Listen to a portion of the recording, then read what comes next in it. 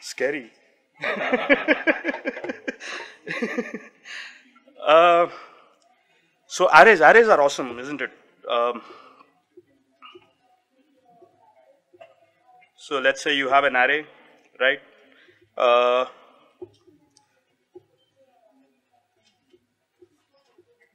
and you can log that array. The reason I'm showing this to you, of course, you know what arrays are. I don't have to explain arrays to you. The reason I'm showing this to you is because I have this plugin installed just to make it clear that I can I can output stuff right inside the editor. So I just wanted to show you that so you know you know what's going on over there. Uh, so uh, of course you can map over arrays. Everybody knows that. There's nothing special over there. Especially if you're using React, then you know you've been mapping over everything. Uh, and so you can map over an array and you can let's say double it, right? And it doubles the array. You can see again from the log here that it is doubled right? So this is not special. Everybody knows this already, nothing really to explain. In case you did not know what is really happening is that array.map is essentially returning a new array. So that's the return value is a new array. Uh, and it is running the function that we have provided to map and it is, it is running that function on every single element in that array, right? So that's my talk. Thanks a lot for coming. Uh, uh, no, so obviously, uh, I, I have been, so I've been on this journey recently. Well, let me introduce myself first. So I, uh, I run this uh, service called Errorception. My name is Rakesh Pai. I run this service called Errorception. I am Rakesh314 on that bird website. Um, and uh, uh, I have lately been interested, in fact, to the point of being obsessed with, with uh, writing error-free programs. Now, of course, part of this is probably because I run Errorception, so I deal with errors on a regular basis, and so that is something that's always there in the back of my mind. It's also, you know, talks by things like uh, uh, Martin Fowler has, has this talk on, on YouTube where he talks about the future of programming. And he talks about the fact that what is likely to be in the future is this, is this hardened discipline about, about being professionals about programming. And one of that is, one of the aspects of that is sort of making sure that your programs don't break. Uh, and also, I think one of them was this language called Elm. Now, I don't know if you guys are, you must have probably heard of Elm, but I don't know if you're really familiar with Elm at all. I'm a JavaScript guy, so I'm not like interested in things like Elm and stuff like that. But you know, it's always good to have a look at such things from these from you know the corner of your eye. And if you look at the Elm website, this is one of their banner claims, right? Is that there is no runtime exceptions. And that's very, very interesting. This means your programs cannot break. How can you write programs like that that cannot break? It's very interesting. So, you know, this is this is the kind of stuff that sort of got me into thinking about how can you write code that is sort of unbreakable. And uh, uh, of course, don't do any of this because I make money when you make errors. So you know, don't do any of this. Uh, uh but you know, I'm just just a thought process, right? Um, so uh, this this journey about trying to figure out how Elm makes that claim and how they can deliver on that claim is what got me into into sort of thinking about the substance of this talk. Uh, and there are people who have tried to explain this before and they have all failed in, in various interesting ways. And so here I am to try to fail once again. So, you know, let's give this a shot. Uh, so it all starts with the humble array. Uh, and let us, so, you know, what happens if you map over an empty array? Well, it's an empty array, right? It's nothing surprising there. Everybody knows this. Uh, but what is interesting is this is not an error. You are asking it to double nothing. And it is not an error, right? It just skips over. You didn't have to write a null check. You didn't have to say if array.length is greater than zero. You don't have to write that. You know, you don't have to have that null check. But it still works. It does not fail. And that's very interesting. Uh, this is, so, you know, just as an example, uh, let's say that from somewhere you happen to get a a nan from somewhere, right? And then now your console, so now when I, so, you know, that size expected, it's a nan. What happens if I double a nan? It's still a nan. It's the same nothing case that continues. So it's similar to how arrays behave, empty arrays behave, right? It's the same nothing condition that continues. Uh, another example of this. This is all over the place. You just haven't noticed it. Another example. Let's say you have a promise and I resolve the promise, right, with some value. Uh, then I can dot then over it and I can double that. Uh, right? And And my display, my sort of plugin thing does not work very well with promises because they are async or whatever. But uh, dot then is similar to dot map in the sense that you are sort of operating on the previous value. So, you know, it's very similar in that sense. And I'm doubling it. But, you know, of course, this will work as you expect. But in case I had this as a reject, right, in case this was a failed promise, then you would see that the dot then does not execute, right? Similar to how the previous things are, where the dot map does not execute in the case of an error.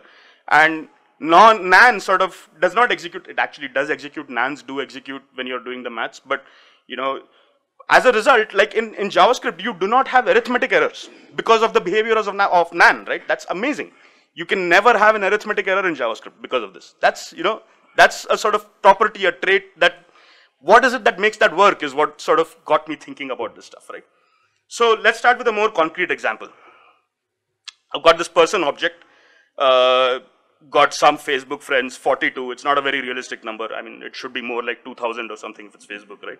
Uh, and so uh, now let's say I can log person.fbfriends.count, right? And that, as you would expect, is 42. Let me, just for the sake of display, break this up like this, right? Now, let's say I want to find out this person's Twitter friends. So I can just search for TW friends, error, Obviously, because there is no such thing as TW friends. But then this is not the behavior I wanted. All the other things that I showed you so far, if there was nothing there, it just continued, right, without an error. But here, we are having an error being thrown, and we want to see how we can avoid this. Now, of course, the answer is simple. We just have person dot Twitter friends and person.twitterfriends.count, and then you get undefined. Everybody's written code like this, right? Null checks. This is a null check, essentially or, or you know, uh, what is it called? Defensive programming, as some people call it. Ugly, right? What happens if this is five levels deep? You know, everybody's written code, like don't act like you haven't, right? everybody's written code that does this, right? And this is ugly. We all, we all understand that this is ugly. So now how can we, how can we use this behavior of array.map and nans and promises and so on to help write code that cannot break? So that's where I want to get at, right? so let's, uh, let's uh, start with the, uh, as with JavaScript, you always start with some functions. So I'll start with is nil and, uh, oh, this is not working out well. So, all right. So this is what my is nil implementation looks like. It, you know, if uh, it returns true if the value is undefined or the value is null. So that's what it's doing. Uh, and let me also define a function called safe, right? And what this does is, uh, given a value, if the value is nil, sorry, if the value is nil, then it returns an empty array. Otherwise, it returns the value inside an array. Okay? And the reason I'm doing this is so that now I can, so I can check, I can make a safe version of person.fb friends right? And as you can see, that's, a, that's an array with count inside of it. Uh, and I can just map over that to get the count, right? And of course, now the answer is 42, that expect, that's expected. But it is inside an array. That's a little unexpected. We did not want that inside an array. But obviously, it's inside an array because we have put it in an array over here, right? But if you ignore that for a second, it is, it is 42 and we can now switch this FB friends to TW friends and it's an empty array. It did not break.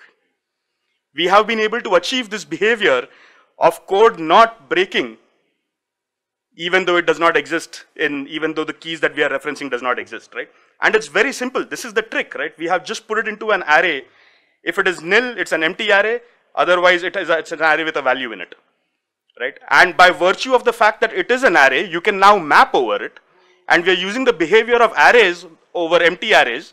That map does nothing. So our code just works, basically, right? Are you with me so far?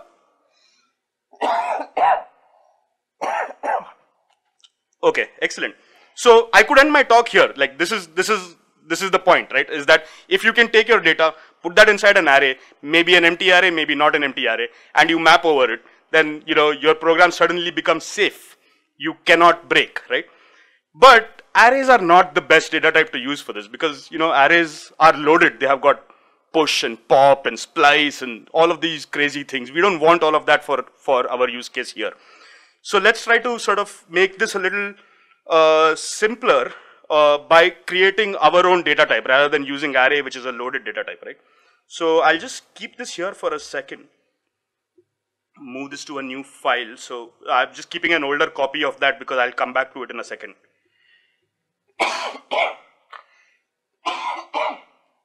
All right, so let's start creating our data type. What do we want? We want an object that we can map over. Um, and it turns out this thing has a name. It's called a functor. A functor is an object that has dot map on it. If you have come across this term, it's a, it's a word from functional programming. If you have come across this term before and you have thought it's really confusing, that's because people don't know how to explain it. Really, this is all there is to it. It's a function, it is a, it's an object that has got that dot map on it. That's a functor, right? I have said conditions apply because there are lots of rules about how dot map works. For example, an array dot map, right? It has to return an array, it has to operate on every single individual value. There are a lot of rules about how it works. I'm not going through all the rules. You know the rules really. I don't have to explain them to you. But there are rules and people are sticklers about those rules. So, you know, uh, it's important to stick to those rules. But overall, the idea is it's an object that has got dot map on it, right? So let's create an object that has dot map on it. It's not hard, so we'll create it. Um, so let's call our first object. So let's try to attack this problem first about the empty array. Let's try to replace that with an object of our own. So we'll call that object nothing. Okay, and uh, it has to have a map. Right? What is C? Huh. It has to have a map, and of course, in our case, the map does nothing. It just continues to return a nothing. Right? This is a valid functor. It's a map. It returns nothing, right? The, the, the reason it, by virtue of the fact that it returns nothing, it means it's a functor again that you have got, and so you can continue to dot map over it, right? So it's like having an empty array, return an empty array, and then you can map over that to get another empty array and so on, right? And so we can now replace our thing over here with nothing. And uh, uh, I'll come back to this display in a second. So you can see that Twitter Friends is, is showing a weird thing. And obviously it's showing this weird thing because we have only got, you know, it's, it's basically showing this object. So it's mapped with nothing over there. So just for the sake of display, I'll add a value here and I'll call that nothing. And you can see that it displays nothing. And again, just for hygiene, I'll just show dot value over here and you can see that that's nothing, right? Um, now let's, let's represent this value. So we need the equivalent of an array of an object uh, or a value inside uh, a functor, right? So let's do that. So uh, we'll make this a constructor. So this will take a value and this will return an object. Uh, and again, it has to have a dot map. That's the only real rule we have. And that takes a function and uh, it uh, it runs, you know, it invokes that function with that value. Except there's one more thing that needs to be done here. Uh, this is why functor rules and stuff like that are important, right?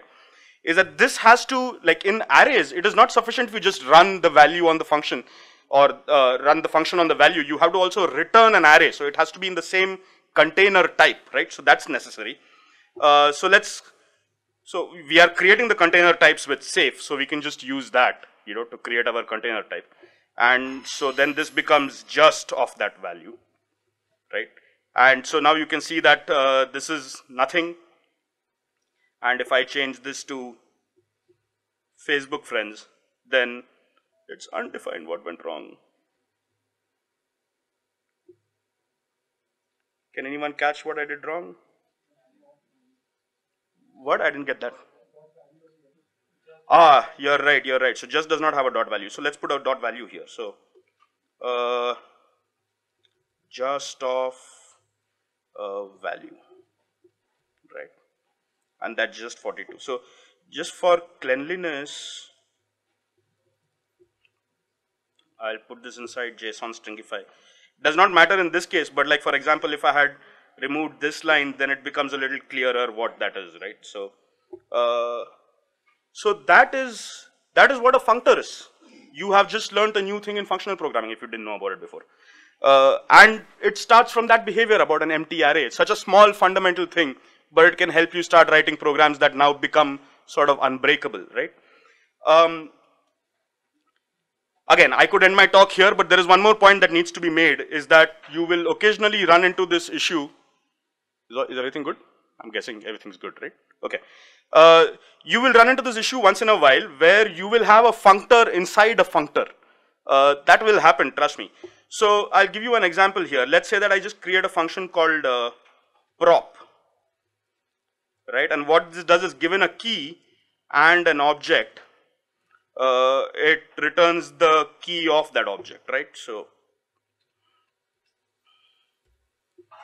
uh, so I can like instead of calling dot map of this, I can just say uh, prop count, right? And has the same uh, same effect, right? Are you with me so far? Did you get that?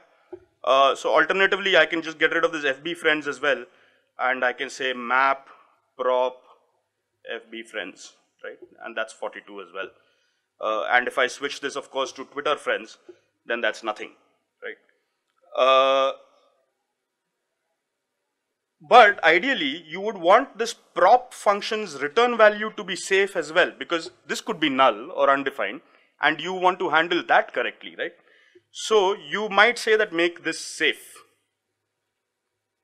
And now you've got a nothing inside a just, which is incorrect, right? You did not want this. So uh, I'll come back to my previous array case here. I'll just copy paste some code from here just to make that easier to work with.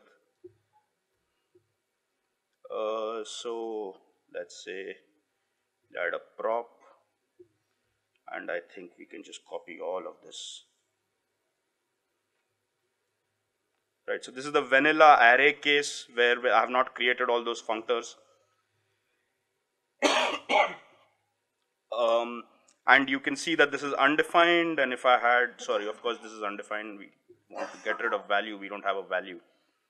Uh, and so you can see that we are having an array inside an array, similar to how over here we had a nothing inside a just, right? Here we have an array inside an array, and so we want to get rid of that. And I don't know if you you must have heard about all the hype around the smoosh method that happened in JavaScript, right? That that smoosh thing, the smoosh gate. Uh, this conference should have been called like smoosh gate or something like that, really. But anyway, uh, so one thing that slipped by in the same update about that happened. So Smoosh ultimately got renamed to flat, if you are aware, right? It got renamed to flat. Uh, but there was one more method that slipped into the specs at that time, which nobody paid any attention to, and that is called flat map. And that solves exactly this problem. So that is what flat map is meant for. So what you can do is now you can flat map, sorry, not flap. So you can flat map. So what that does is that basically does a map, but rather than putting it inside an array, it sort of just returns the value immediately. So you are already inside the context of an array rather than nesting another array inside of it you know, you can just flat map and so that does not give you that wrapper array, right? Or the inner array actually in this case. Uh, and obviously now when I switch to FB friends, then it will give me the correct value, right? So let us try to replicate this behavior now in our functor. By the way, if you have a functor that does a flat map, that is called a monad. So monads are functors with flat map on it. It is that simple. I don't know why people make these things so complicated, but it is really that simple, right? Now, flatmap is a new thing in JavaScript. Uh, before it was called flatmap, monads have existed before as well. Uh, and they used to call it different things. So it, it has been called dot chain, it has been called dot bind.